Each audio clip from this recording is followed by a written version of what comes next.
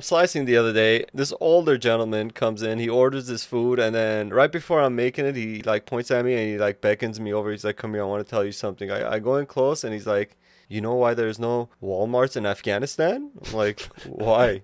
He's like, "Cause there's a Target in every corner." Most messed up joke ever. I was like, "What the hell?"